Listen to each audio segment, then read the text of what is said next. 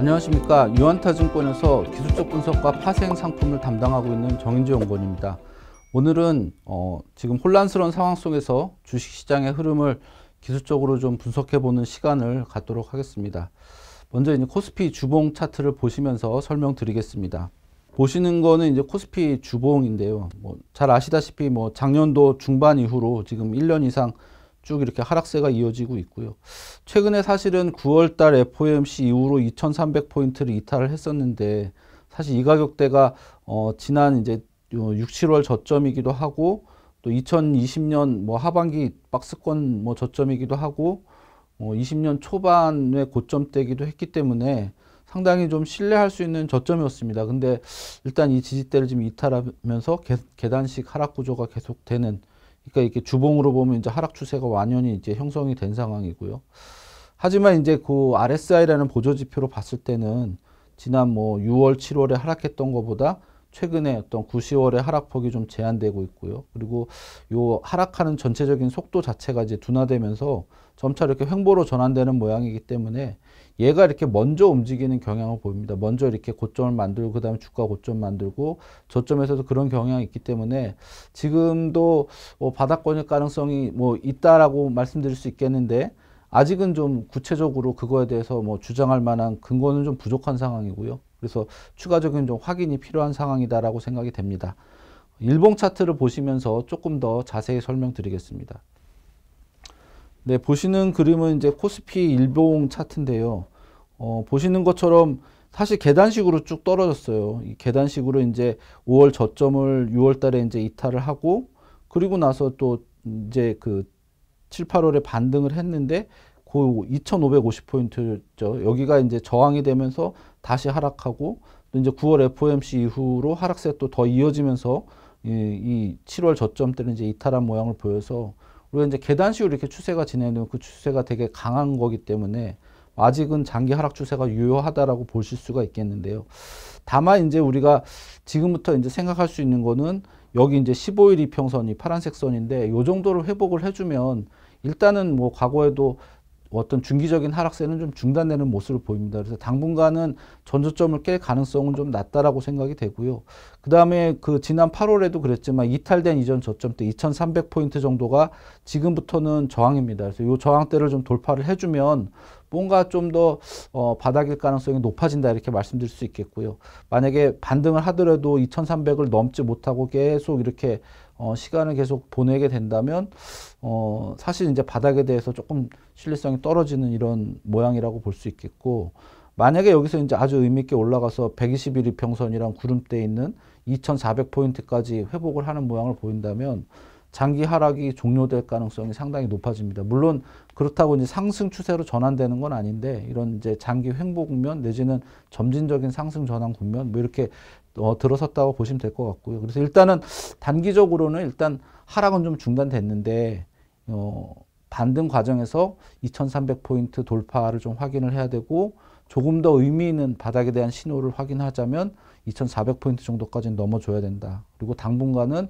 전주점을 깨는 뭐 하락은 좀 나올 가능성이 낮다라고 생각이 됩니다. 그러면 이제 시장이 어떤 트리거를 가지고 움직일까 이제 그런 거에 대해서 좀 생각을 해봐야겠는데 이번에 사실은 이제 FOMC를 하면서 점도표 상의 어떤 2022년, 23년 말에 어떤 금리 목표치가 올라갔습니다.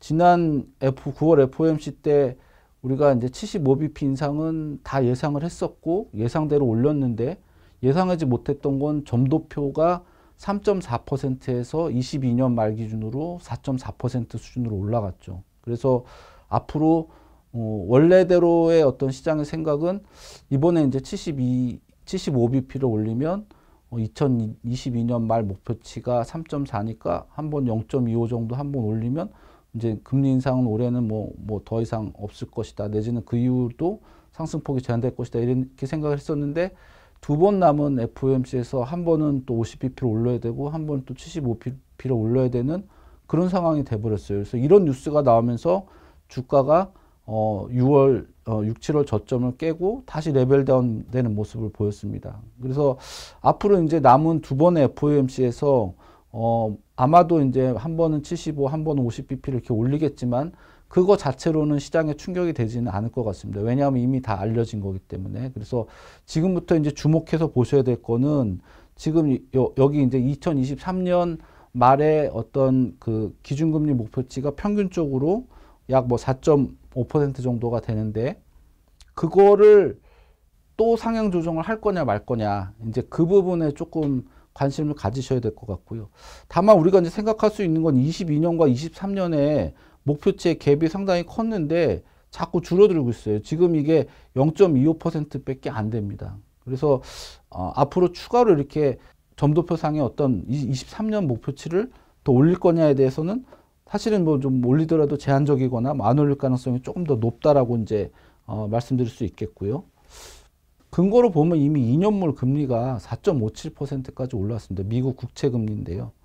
과거에 이제 2006년도에 제일 높았을 때가 5.27%고 그다음에 뭐 대략 4%대에서 왔다 갔다 했, 었다라면 이미 뭐 그 수준까지 올라온 상황에서 금리가 더 올라갈 여지가 있을까라는 점을 좀 생각해 봐야 될 것 같고요. 그리고 이제 미국에서 왜 이렇게 금리를 올리냐. 좀 물론 이제 인프레를 잡기 위해서 그런다긴 하지만 사실 공급 측의 어떤 공급 부족으로 인한 인플레의 성향이 강하기 때문에 어, 금리를 올린다고 인플레가 잡히는 효과는 사실 그렇게 크지 않을 수 있는데 문제는 뭐냐 하면은 이 그 미국에서 금리를 올리면서 어, 달러 인덱스가 달러 가격이 계속 올라가고 그게 그 미국의 이제 수출 물가 지수와 수입 물가 지수의 차이 즉 그러니까 미국 입장에서 수출 물가가 올라가고 수입 물가가 떨어지면서 인플레가 부담이 완화되고 그 완화된 거를 사실 해외에 전가시키는 상황이 벌어지게 되는 겁니다. 그래서 이제 글로벌 전체적으로 인플레를 약간 이제 미국 인플레를 해외로 좀 전가시키는 모습 보이고요. 상대적으로 미국은 인플레에서 조금 더 영향을 좀 덜 받는 뭐 그런 모습을 만들고 있기 때문에 달러화 지수 흐름이 사실은 이후에 가장 뭐 중요한 변수라고 보고 있습니다. 기술적으로 이렇게 일단 달러화 지수를 보시자면 어, 일단 고점이 좀 낮아지고 있어요. 9월 고점보다 10월 고점이 낮아지고 있어서 단기적으로는 뭐 좀 상승세가 좀 둔화되고 있다라고 말씀드릴 수 있겠는데 문제는 이제 추세로 보면 아직까지도 상승이 견조합니다. 그래서 적어도 이제 이것도 약간 계단식 상승 구조로 보이고 있는데 이 110포인트 수준에 있는 60일 이평선이랑 거기에 이제 7월 고점대 같이 맞물려 있는데 요 가격대 정도를 이탈하는 흐름이 나와줘야 달러화 지수가 어느 정도 어, 조정 국면에 들어섰다라고 볼 수 있겠고요. 그러면 이제 그것이 어, 글로벌 증시 전체적으로 긍정적인 영향을 미칠 수 있고 그 이전에 이미 뭐 금리 인상의 어떤 속도가 둔화된다든지 뭐 점도표상의 23년 목표치 상승폭이 좀 제한된다든지 아니면 뭐 미국 국채 금리가 어느 정도 상승이 제한된다든지 이런 이제 모습들이 나타나면서 어 달러 인덱스가 조금 이렇게 완화가 되면 시장이 조금 더 의미 있게 이제 올라갈 수 있겠고요. 미국 그 S&P 500 지수를 이제 일봉상으로 보자면 어, 아무래도 한국보다는 좀 견조합니다. 뭐 6월 저점 때를 일시적으로 이탈을 했다가 다시 이제 회복하는 모습을 보였고요.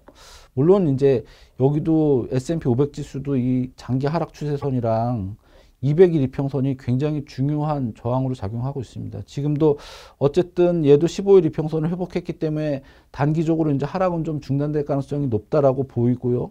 당분간 좀 반등이 나올 수도 있겠는데 반등이 나오면 1차적으로 뭐 3,900포인트 정도 여기 이제 60일, 120일 이평선이 있고 그 다음 이제 4,100포인트 정도의 200일 이평선이 있는데 어, 요 두 개 정도 저항대를 넘어서면 사실 미국도 거의 하락이 끝났다라고 장기적으로도 판단할 수 있겠는데 아직까지는 지금 저항으로 남아 있는 상황이고요. 단기적으로는 좀 반등 내지는 횡보를 보고 있습니다. 그래도 요 가격대까지 좀 넘어주는 모습을 보여야 어, 장기 바닥이 될 수 있겠고요. 요약해서 말씀드리자면 코스피는 이제 하락은 좀 어, 중기적인 하락은 좀 중단이 됐다. 그러나 상승 전환하기 위해서는 일단 좀 확인하는 과정이 필요하고 1차로 2300포인트 정도 수준의 어, 저항을 넘어서고 2400까지 넘어서면 장기 바닥에 대한 신뢰가 굉장히 높아진다 이렇게 보실 수 있겠고요.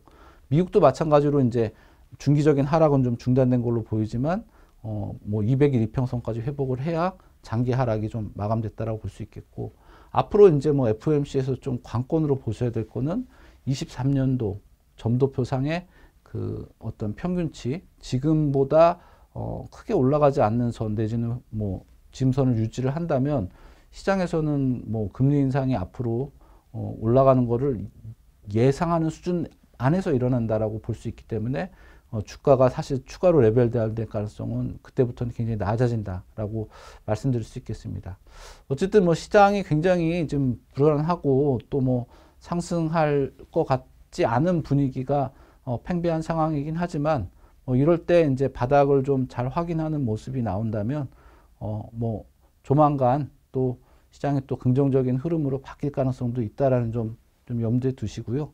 어, 일단은 뭐 기술적으로 주가가 좀 코스피가 2,300 넘느냐 먼저 보시고 또 펀더멘탈 관점으로 봤을 때는 미국의 금리 인상 기조 그것을 FOMC에서 나오는 점도표를 중심으로 어, 가늠해 보시면 시장이 어느 정도 선에서 이제 바닥을 잡을 수 있을지 좀더 어, 확인하실 수 있을 것 같습니다. 예, 오늘도 수고 많으셨고요. 어, 영상 시청해 주셔서 감사합니다. 여기까지 하겠습니다. 고맙습니다.